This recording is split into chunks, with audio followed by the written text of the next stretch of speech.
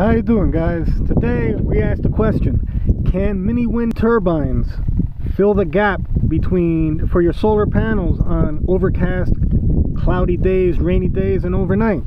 Tune in, let's find out.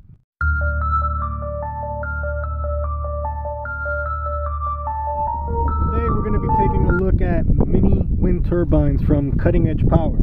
They're a Texas-based company I'm a big supporter of American-made products, and uh, I had really high hopes for these. Now, as you can see, this one actually has a broken blade on it. This is not the blade that this one came with. Um, this particular blade came with the third uh, turbine that I received from the company. That's right, three. Um, this is the first one that I received from them. It did come with uh, with, with non-broken turbine. Uh, if, if you could see here, there's cracks along the housing. These cracks were not from tightening the hose clamp. This hose clamp has never actually been tightened. This is the way that it came from the manufacturer. These cracks developed the first time that I mounted them on a three-quarter inch PVC pipe, and that's the recommended dimension. That's what it's. That's what fits in here. Uh, these. This is just cosmetic. This is just support material that was never cleaned out properly. Um, they're made out of PET G, so everything is 3D printed, the blades and the housing. This on this particular model, uh, the lamination got so bad that I actually had to glue this back portion back in, and no matter how much I tighten uh, this weatherproof uh, pass-through for the wiring, um, there's just considerable play in this. I mean, there's I'm not putting any pressure on there whatsoever. I can move it with my pinky, and you can see that it actually still moves. Uh, if you if you could see here the DC engine on this one is set back from the housing and when it originally arrived the blades were so far back uh, that they, it was impossible for this to spin. So once I spaced them a little bit um, I was able to get them to rotate uh, once I pointed them in the wind and that's another thing that you will have to keep in mind. These will have to be pointed into the wind in order for the blades to, to spin. They come with a three foot cord that is terminated in a male cigarette lighter adapter. Why a male cigarette lighter adapter? Honestly, I can't say. Um, I don't find this particularly useful uh, for two reasons. Number one, three foot of cable, you want to put your turbines up in the air in order for them to catch the most amount of wind. And three feet, how far are you going to actually run that? Aside from that, pardon me. Aside from that, the this little power button needs to be pushed in in order for the turbine to transfer power. Now this particular one never provided any type of power. No matter what I did, it never produced. Uh, never got 12 volts from it, never got any type of power from it. They did send a replacement model. That one is up in the air right now, along with uh, the, th the third one that I have, which is the new version of this. The difference between the old versions, which is what this is, and the new version is the way the housing is uh, shaped. It's a bit larger, it's more rounded, so you don't have these sharp angles, and the wiring comes from the bottom as opposed to, to the back, and that, that was a smart move. Um, now, the the new version still has these cracks and they they came again from the exact same uh, from the exact same thing. The moment that I placed it on the three quarter inch PVC pipe it just cracked.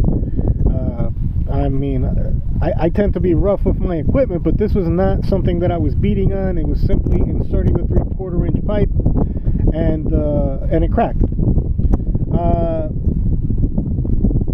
the the second version that I had, the second model that I have of this particular version, the motor is mounted further up front, and I was able to get some power out of that one.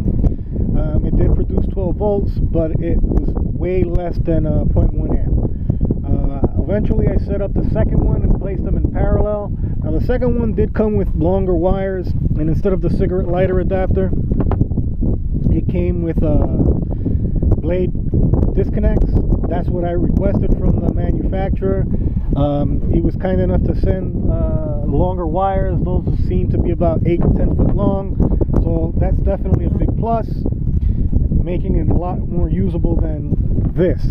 Uh, the other problem I have with this is, and I've only been testing these uh, these models, these version I've had for about two months. The other one is going on about a month now. Me having uh, having it in operation. Uh, I initially placed the the working version of this, well, the so-called working version of this, uh, on a charge controller that's made for for wind, and uh, connected a 7 amp hour battery. Now, let me be clear, these were purchased uh, for a rancher that lives near me uh, who wanted to operate a weather station as well as uh, some other monitoring equipment for his cattle. Ultimately, we ended up going with solar panels because on our first test, we set this up at 2 o'clock in the afternoon, facing into a strong wind. We had 15 to 20 mile an hour winds throughout the whole day, and we had gusts of up to 35 miles an hour overnight. Now, uh, the battery that we placed, with no charge, um, sorry, not with no load on the batteries from the turbine, the charge controller, charge controller to the battery. The battery was at 12.1 volts when we left it to charge. We came back the next day at about 11 o'clock in the morning. The battery went from 12.1 volts to 10.9 volts, uh, damaging the battery. The battery now at this point will not take a full charge. Said, let's take a closer look at. Uh, okay, so these are the turbines in their mounted location. You can see they're both currently spinning. I don't have them connected to a load at this point uh, or to a battery uh, for the purposes of this video. Um, the one on the left is the newer version. The one on the right is the replacement for the one that we took a close look at. Now, even though this was sent to replace the other one, um, I'm trying to get in here without you get without whacking the phone with the blades. You may be able to see the crack on the on the housing itself. You can see the wires do come from the bottom on this one which is a much better design than the previous one. As you can see, the, the far one has the wires coming out of the back as the one that we saw close up. Now, those screws are set there to, to tighten down to, to keep it in place. They've never been tightened. That crack developed from the moment that it was placed onto the PVC piping. They're spinning, but they're not producing any power. Between the two of them connected in parallel, we're getting 12 volts and 0.06 to 0.1 uh, amps. They're supposed to be rated for 15 watts, 0.5, 0.6 amps. Again, never gotten anywhere near that. Final thoughts. So, really disappointed with these, man. I was really hoping that these would uh, provide that little bit of extra power overnight and during those rainy days and I'm sure that a wind turbine will, just not these. Uh, really disheartened. I'm a big supporter of American-made products, and it really hurts when a, when a product doesn't perform.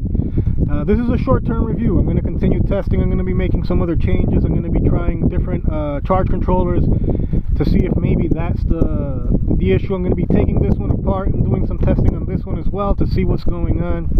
What I would recommend to the manufacturer, quite honestly, is uh, to redesign the housing on these. I know that the other one is more rounded, but I would build some, I would, uh, I would model some ridges uh, along the edges of these to reinforce that. Because uh, even if they don't, if, if, some of the other ones, perhaps this was a bad batch of uh, PET G. It's possible. I mean, three different prints, three same issue, unlikely, but hey, you never know. Uh, so there is that. They do have other versions that will point into the wind. Um, they do have a slip ring built in. These unfortunately don't, which again is a bit of a, a letdown. Uh, what's the point of having a turbine that you constantly have to be keeping track of where the wind is and pointing it into the wind? Uh, the, the newer models come with uh, without that cigarette lighter adapter. I know that they have a version that has USB ports um, directly built into the housing. Not exactly sure how useful that would be in charging uh, batteries. At the low power outputs of these, I haven't had one to test. I'd be willing to test one, but communication with the company is not very good. It shouldn't take me a week to get a response back, especially when I'm replying to a response they just sent. I understand that they were going to several uh, shows. But still, if you just sent me an email and I replied within two minutes of receiving that email, there's no reason why I would have to wait a week to get a response back. It's just not a good way of doing business. Uh, rather rude in their communications, uh, talking down to you. You know, informed them that I wasn't getting any power out of this, I was very clear in the methods that I took to, to test to see how that power, whether that power is coming out. And his response to me was, "Well, there's a button on there. Did you press the button? Really, dude? Come on." Oh, anyway, guys, uh, to answer the question, can mini wind turbines fill that need, fill, fill that gap? More than likely, just not these. Uh, we'll we'll revisit these again in another couple of months and see how they've done. Until until then, I gotta say, stay away. Hopefully you found some information in this valuable. If you did, please comment, like, and subscribe. Don't forget to hit that hit that bell button for notifications. Have yourselves a good day, and I'll see you on the next video.